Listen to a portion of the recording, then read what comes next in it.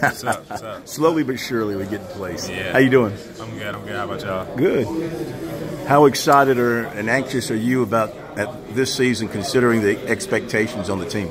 Uh, you know, I'm very excited for the season. You know, just to get to September 1st. You know, that first game, those first game jitters, and just all that good stuff. Ready to get back to doing what I love. You know, having everybody healthy on offense and together and keeping it all together, how good can you guys be on offense? Uh, you know, the potential, who knows? You know, we just got to go out there and have a great training camp and, you know, produce on September 1st. How excited are you to have number one uh, you know, I'm very excited. You know, it kind of takes some of that pressure off me. You know, you know, it just makes us a better football team in general.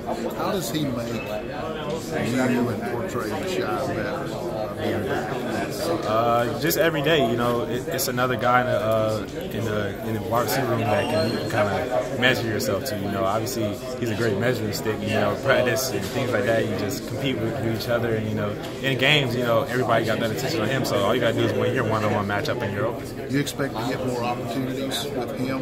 People paying more attention to him? Uh, you know, you never know how things going to go in the game. You know, I'm the opportunities that I get, I'm going to take advantage of. How good is this receiving corps? Some people are saying top five in the country. What do you think? I don't know. You know, things like that. You, you get caught up in things like that, and you, it kind of takes your focus away from the game. You know, our, our main goal is, you know, to be the best receiving corps we can be. We're not worried about the rest of the country. All that thing's going to fall in place. What's your potential uh, the potential, I mean, we have guys that have a lot of experience under their belt. So, you know, the potential is there. We just have to go out there and, and produce. Working with Jake this offseason, how has he looked? Uh, how have you guys as a receiving corps kind of connected with him? Uh, Jake is Jake. You know, he, he's going to improve. He's, he's, a smart guy. You know, he's very technically sound. And, you know, we just been in, uh, been in the lab, you know, running routes, doing the same thing we do every year. And I think we're going to put a, a polished product out on the field September 1st.